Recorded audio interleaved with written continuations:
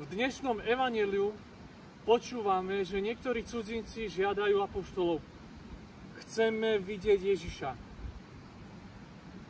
Prozba väčšnej duše človeka hľadajúceho sa k nám dostáva na perách mnohých, často aj nemých, a prosí nás. Ukáž mi svojho Boha.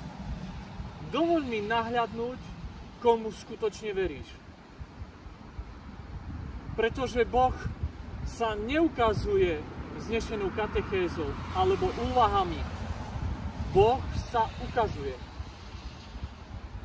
Ukazujúci láskavé, láskavú tvár a pohľad čistých očí. Život ním obývaný. Ježiš svojou odpovedou posúva účastníkov rozhovoru na inú úroveň a poskytuje nezabudnutelný obraz. Chcete o mne niečo pochopiť? Pozrite sa na zrnko pšenice. Ak pšeničné zrno nepadne do zeme a neodumrie, ostane samo.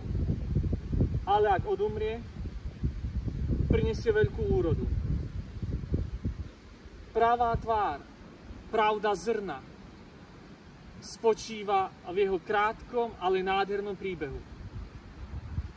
Je úžasné, že Ježiš používa porovnanie pšeničného zrna.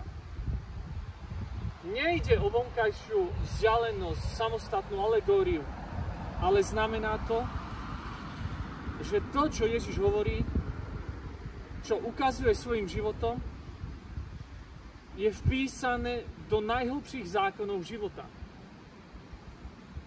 život najjednoduchších stvorení podlieha rovnakým zákonom ako náš duchovný život.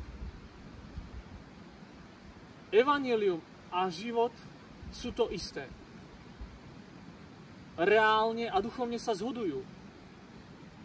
A tak, ako pšeničné zrno je proroctvom o chlebe, tak Ježiš potvrdzuje. A ja som chlieb pre hlad sveta.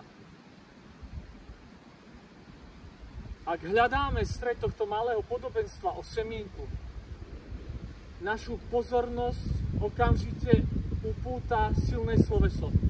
Zomrieť, či odumrieť.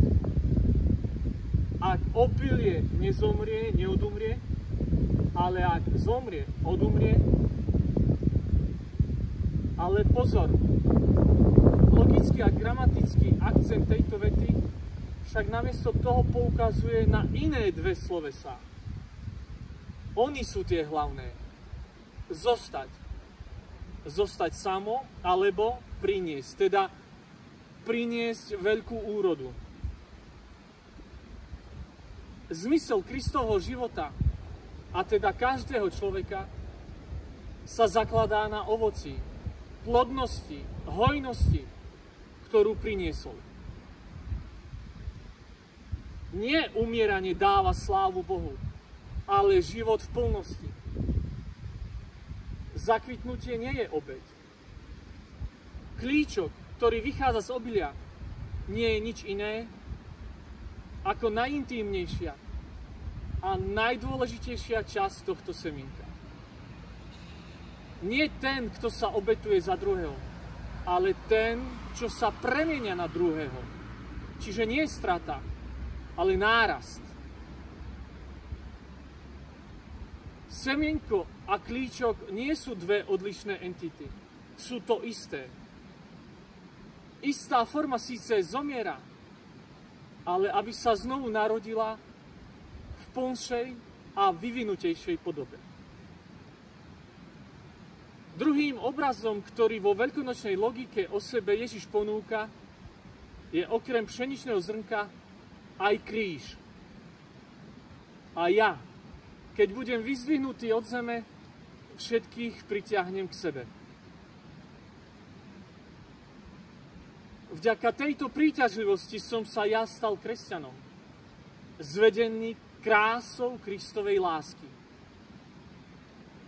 Najvyššou krásou sveta je to, čo sa stalo na kupci za Jeruzalemom keď sa nekonečná láska nechala pribiť na to nič z dreva a zeme.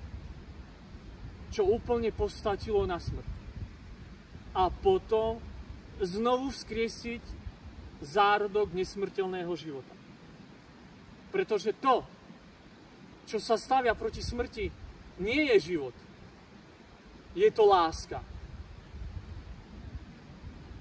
Prajem vám krásnu a pokojnú prvú jarnú nedeľu. Pokoj vám.